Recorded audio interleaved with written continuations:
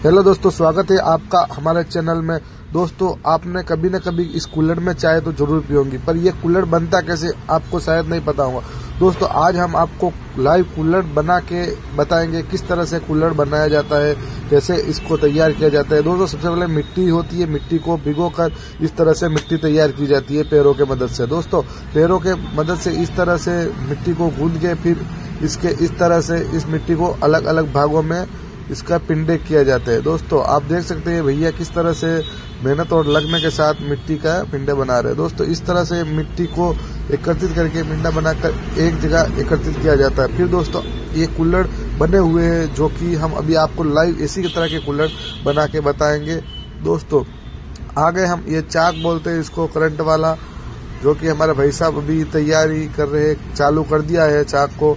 और अब इसके ऊपर वो मिट्टी तैयार की गई हुई इसके ऊपर रखेंगे।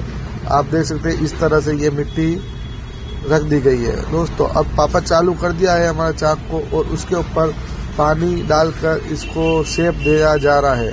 दोस्तों, कुछ टाइम लगने के बाद इसको ऐसे लंबा शेप देने के बाद फिर अंगुली अंगूठे की मदद से कुल्लड़ तैयार किया जा रहा है। दोस्तों, ये कुल्लड़ दोस्तों, मैंने भी ट्राई किया था, पर मुझसे ये नहीं बना क्योंकि इसके लिए बहुत ही टैलेंट की ज़रूरत है, सीखने की ज़रूरत है, जो कि हमें नहीं आता। पर भैया ने कुछ ही सेकंड, कुछ ही मिनटों में कई सारे कुल्लड़ तैयार कर दिए और घंटा भर में आप देख सकते हैं कितने सारे कुल्लड़ तैयार कर दिए। दोस्तों, ये भैया कुल्लड़ बेचते हैं रिटेल भी और होलसेल। अगर आपको होलसेल कुल्लड़ की रिक्वायरमेंट है तो भैया के नंबर यहाँ मैं मेंशन कर रहा हूँ। आप भैया से बात करके होलसेल कुल्लड़ ले सकते हैं। अगर आपका चाय का धंधा है या किसी भी प्रकार के मिट्टी के बर्तन का व्यापार करते हैं दोस्तों, बहुत ही सुंदर, बहुत ही अच्छा कुल्लड़ बना के तैयार कर दिया है। ये पके हुए कुल्लड़ है, जो कि पहले पकाए हुए हैं।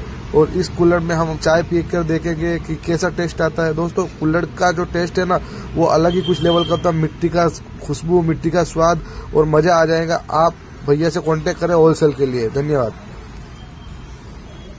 वीडियो को लाइक कमेंट चैनल को सब्सक्राइब करें। धन्यवाद।